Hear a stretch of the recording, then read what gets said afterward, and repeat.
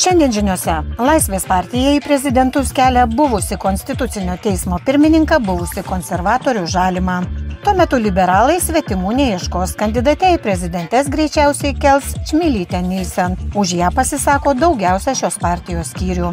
Kaunas bandys gręžtis į upės. Savivaldybės užsakyto projekto autorės Vilnietė žada atsižvelgti į iki šiol ignoruotų bendruomenių nuomonės. Likimo ironija, bet didžiausia įspūdį joms paliko su Kauno meru Visvaldu Matijošaičiu dėl pakrantės ateities besigrūmenčios žemųjų šančių bendruomenės vizijos. Finansų ministrė vis dėlto žada ieškoti papildomų pinigų keliams. Tiesa, nepamirždama pagazdinti, kad atims iš kitų sričių. Artėjant naujam pedagogų streikui, švietimo ministras kviečiasi profsąjungą pasikalbėti. Tik apie ką neaišku, nes nieko naujo nežada, tik vis kartoja, kad daugiau pinigų nebus.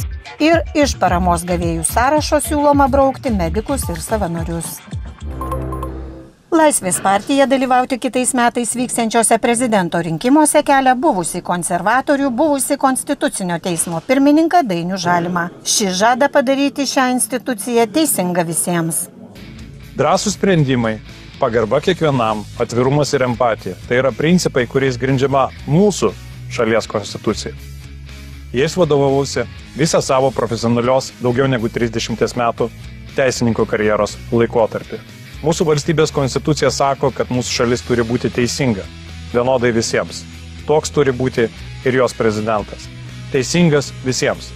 Teisingas visiems, bet gal teisingesnis pats savo. Nemažos dalies šalies teisininkų nuomonė pats žalimas manosi esantis lygesnis už lygius, nes būdamas aukščiausios teisingumo institucijos vadovu, konstitucinio teismo pirmininku, pats pažeidė konstituciją, kai laikų, kaip to reikalauja konstitucija, nepasitraukė iš užimamo gerai apmokamo posto. Kada kadencija yra devyni metai, tai juk bet kuris žmogus, kuris bent paskaitęs konstituciją ar, ar, ar girdėjęs, jis supranta, kad devyni metai ir viena diena jau blogai. Nuo ko tas priklauso, kad šitokį asmenį reikia pasikviesti ir pasakyti, kad jūsų kadencija baigėsi. Ar čia, ką čia, tragedija kokia nors, ar kas? Tai yra variantų pilna. Tai tokiu atveju, kada žmogus nes niekaip nesugeba išeiti net po dešimt metų, tai aš sakyčiau, kad tada ne prezidento patarėjas, o pats prezidentas turėtų pasiaiškinti tautai, kodėl šitaip įžuliai pažeidinėjama konstitucija. 103 straipsnis. Konstitucinį teismą sudaro devyni teisėjai skiriami devyneriems metams ir tik vienai kadencijai. Taškas, labai aišku. Į politiką sugrįžtantis 50 metų žalimas nuo 2011-ųjų dešimtmetį dirbo Konstitucinėme teisme, o didžiąją šio laiko dalį nuo 2014-ųjų buvo jo pirmininku. 1996 metais žalimas įstojo į Tevinę sąjungą, tačiau po penkerių metų partiją paliko. Galbūt vis dėlto politinėje padangėje reikėtų naujų ir šviežių veidų, sakė Žalimas. Tačiau jis pats nėra nei naujas veidas, nei politikos naujokas. Tiesa, šiame fronte teisininkui iki šiol neįtin sekėsi. Nuo 1998 iki 2011 kandidatas į prezidentus ėjo krašto apsaugos ministro patarėjo pareigas. Per šį laikotarpį jis kaip konservatorių sąrašo narys dalyvavo trijose rinkimuose 2000-aisiais į Vilniaus savivaldybės tarybą ir į Seimą, 2009-aisiais į Europos parlamentą. Tačiau niekarto nebuvo išrinktas. Vis tik 2001 metais atsilaisvinus vietai teisininkas tapo Vilniaus savivaldybės tarybos nariu ir šias pareigas ėjo dviejus metus. Šiuo metu Žalimas dėsto VDU ir Mykolo Riomerio universiteto tarptautinės ir ES teisės institute. Laisvės partijos kandidatas į prezidentus sako, kad jį ir šią prieš kiek daugiau nei ketverius metus įsikūrusią politinę jėgą sieja bendros vertybės. Tai natūralus vertybinis suartėjimas, abu vienas kitą suradome, sako jis. Šalies vadovo posto su laisviečiai siekiantis teisininkas netmeta galimybės likti politikoje, jei ir nebūtų išrinktas. Paklaustas, kuo jis iš esmės skiriasi nuo dalies liberalų palaikomos Ingrido Šimonytės, Žalimas įvardino atvirumą. Visuomenės apklausų duomenimis ryškiausi favoritai laimėti šalies vadovo rinkimus šiuo metu yra dabartinis šalies vadovas advokatas Ignas Vėgelė ir dabartinė premjerė. Prezidento rinkimai Lietuvoje vyks kitų metų gegužės 12. Liberalų sąjūdis kandidate į prezidentės greičiausiai kel savo partijos lyderę dabartinę Seimo pirmininkę. Viktorija Čmilytė Nilsen sako, kad partijos skyriai aktyviausiai siūlo kelti jos kandidatūrą kitais metais vyksiančiuose prezidento rinkimuose. Pasak jos, iki lapkričio pabaigos skyriai turėtų pabaigti teikti pasiūlymus. Ar kandidatuos rinkimuose politikė žada paskelbti vėliau. Liberalų sąjūdžio frakcijos įmė seniūnas Eugenijus Gentvilas šią savaitę pranešė, kad partija dėl kandidato turėtų apsispręsti per tarybos posėdį gruodžio gruodžio 9 dieną. Aktyvios kauniečių bendruomenės pamažu greuna nuo miestiečių užsibarikadavusios Kauno valdžios pasistatytas sienas, kuriomis ši bando atsiriboti nuo žmonių, įrodydamos, kad nuomonė, jog prieš vėją arba valdžią nepapūsi, nėra nepajudinama. Tiesa, tai nelengva, prireikia kantrybės, išradingumo ir protesto akcijų. Po vasarą vykusios akcijos, kai valdžios ignoruojamos bendruomenės senamišio grindiniu bandė plaukti valtimis, gyventojai vis dėlto išsireikalavo, kad savivaldybės finansuojama projektą Kauno krantinio atgimimas rengiančios Vilnietės architektės išklausytų ir jų nuomonių.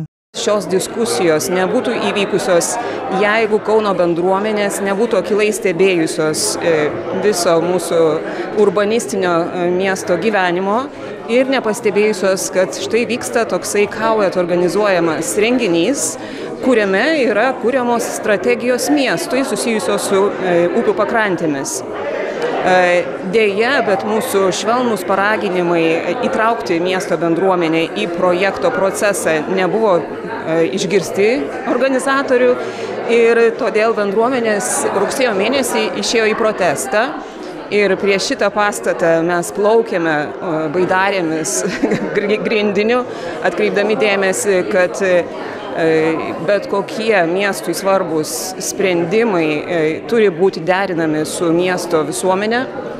Ir smagu yra tai, kad projekto organizatoriai įsiklausė, susitiko su mumis dar keletą kartų, mes aptarėme, kokie galimi būtų bendradarbiavimo ir bendruomenių įsitraukimo būdai ir sutarėme, kad e, galime diskutuoti apie tai, suderinome klausimus ir šiandieną štai turime tikrai pilną salę suinteresuotų žmonių, kuriems rūpi jų miestas, kuriems negaila jų laiko, kurie ateina čia e, neatlygintinai, gaiždami savo darbo dieną, tiesą sakant, bet ateina, nes jiems rūpi ir e, tikiuosi, kad e, šis darbas bus tikrai produktyvus ir kad jo rezultatai nuguls į tas strategijas, kurias organizatoriai ir yra užsibrėžę sukurti projekto pabaigoje.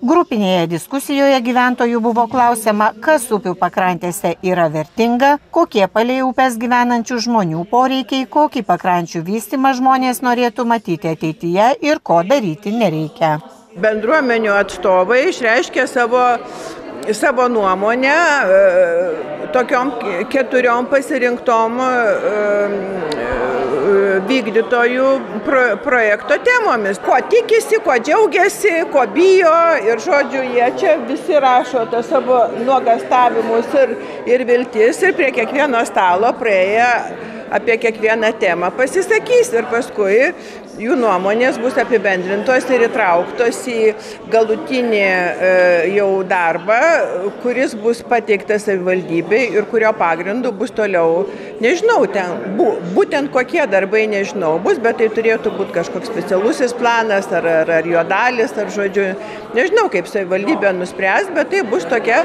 čia ir yra parengiamoji tokia medžiaga ir, ir pirmą kartą darytas darbas, analizė Kauno krantinių Nemono ir Nerijos. Tai man rūpi, kokioje aplinkoje aš gyvenu ir e, man pačiai įdomu, e, kuo gyvena žmonės, kuo dalinasi bendruomenėm ir kokį nori matyti miestą. Ir man svarbu, kad ir mano nuomonė būtų išgirsta. Man labai džiugu, kad vyksta analizė tokių dalykų, nes pavyzdžiui, mes kiekvienas gyvesam gyventojas ir analizė, kuo gyvena tos žmonės, ar yra kažkokios kategorijos tokio aiškumo duoda. Tai sakyti patinka, nepatinka, apie mokslinį tyrimą negalėčiau sakyti, nes netame esmė, čia apie patį procesą esmė. Tikrai šaunus projektas, e, upių krantų atgaivinimas, o mes prie Nemuno gyvenam ir užaugom, taip kad teikiam pasiūlymus. Nuostabi gamta yra ir nesinorėtų, kad tos upių pakrantės nusuktų reiškia, mus kažkur tai nuo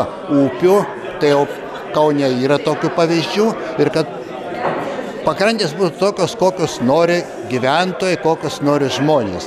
Nes mes turim labai ornitologinė įvairovė didžiulė, yra miško, yra pas mus panemunė šylas, mes turim, kad, kad ir gėsa, po gėsų žuvies ten daug plaukia visokių vaizdingos pakrantės. Turbūt gražiausias Lietuvoje tai yra Jėsios atodanga ir tokio mažyčio upelio sėmena panemunė krantai.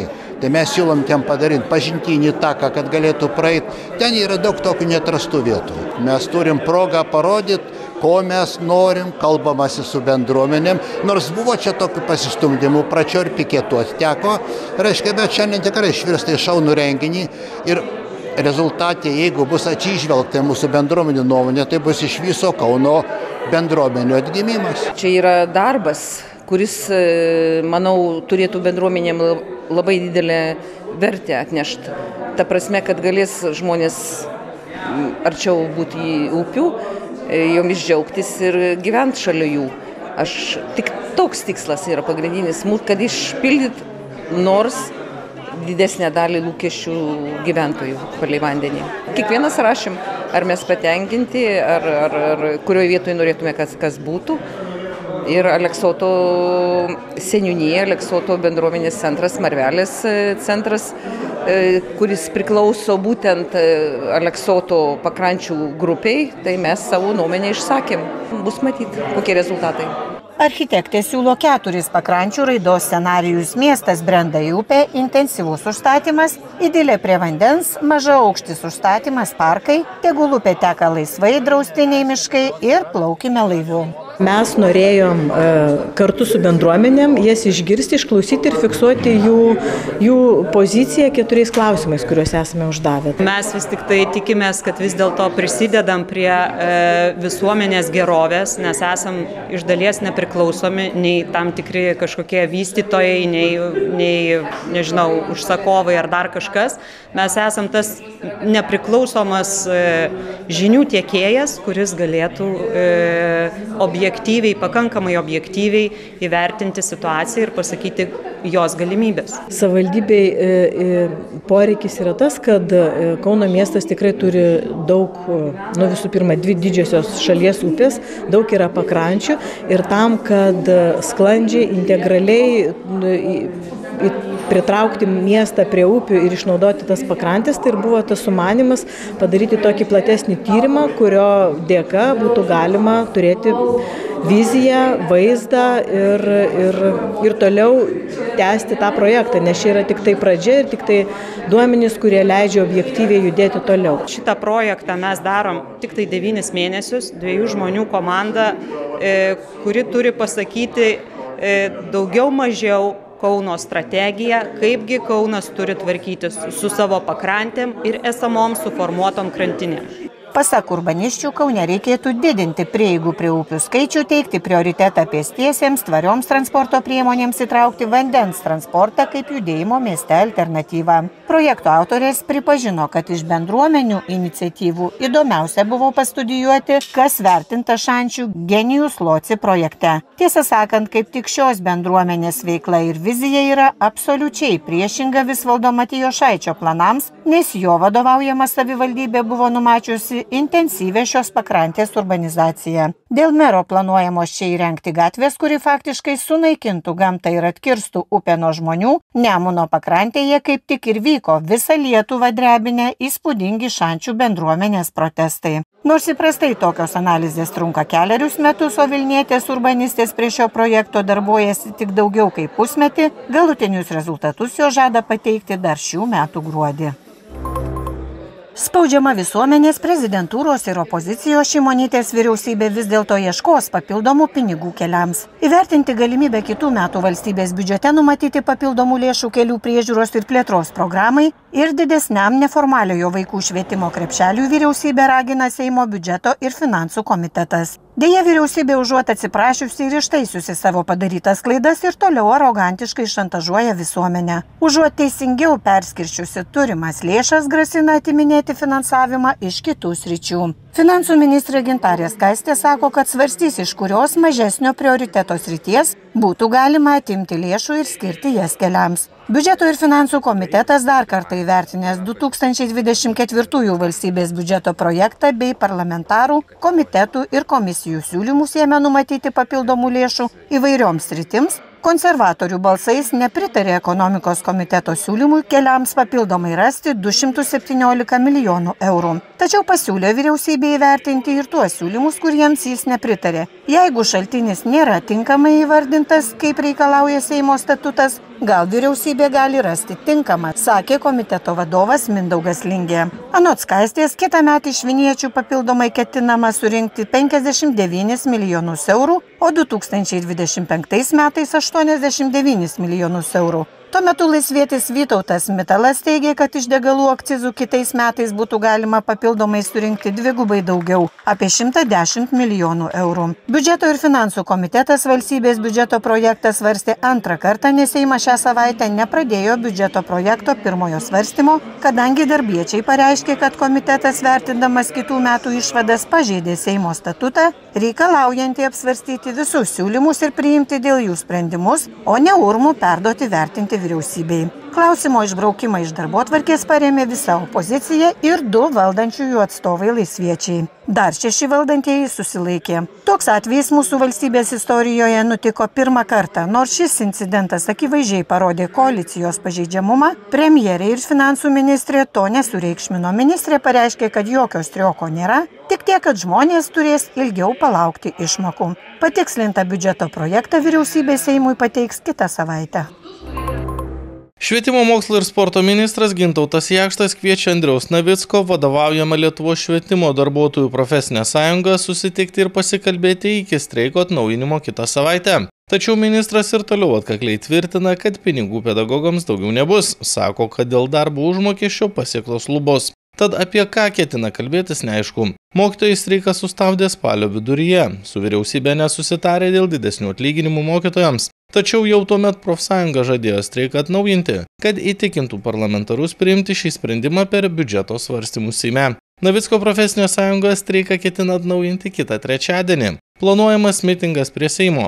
Anot Jakšto mokytojai gali mitinguoti kiek nori, atnaujinus streiką lėšų nepadaugės. Vyriausybė kitų metų biudžete siūlo mokytojų darbo užmokesčio augimą numatyti dviem etapais nuo sausio 10 procentų ir panašia proporcija nuo kito rugsėjo. Tiek, kad vidutinė pedagogo alga kitų metų gale, kai jau faktiškai dirbs kitas Seimas, pasiektų 130 procentų vidutinio šalies darbo užmokesčio. Švietimo susitarimo įgyvendinimui kitų metų biudžete papildomai ketinama skirti per 387 milijonus eurų. Nuolaidų padariusi Navicko profsąjunga ragina algas kelti du kart po 15 procentų. Medikus ir savanorius siūloma braukti iš paramos gavėjų sąrašo. Labdaros ir paramos įstatymo pataisoms, kuriamis siūloma iš paramos gavėjų sąrašo išbraukti žmonės, dalyvaujančius likviduojant ekstremalią situaciją bei jos padarinius, o tai paprastai yra medikai ir savanoriai, Seimo biudžeto ir finansų komitetas pritarė bendrų sutarimu.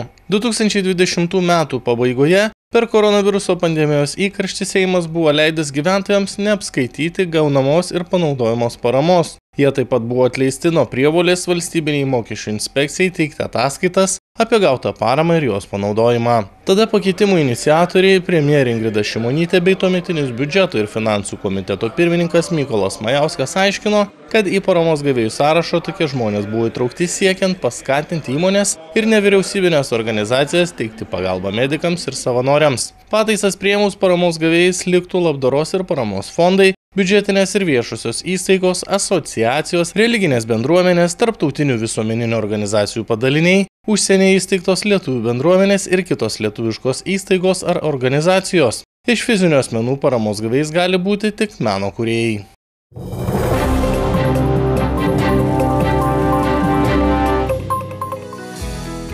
Prasideda ryškesni orų pokyčiai. Jie ims stipriau vėsti, sako sinoptikai.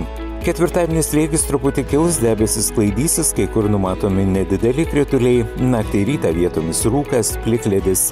Vėjas naktį šiaurės šiaurės vakarų 50, dieną nepastovios krypties 3-8 metrai per sekundę.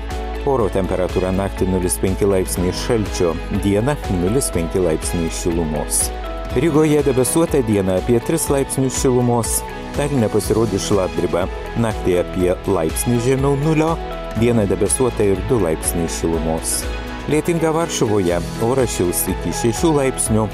Nedidelis lietus beveik visą dieną laukiamas skydą. Čia bus apie 7 laipsnius šilumos.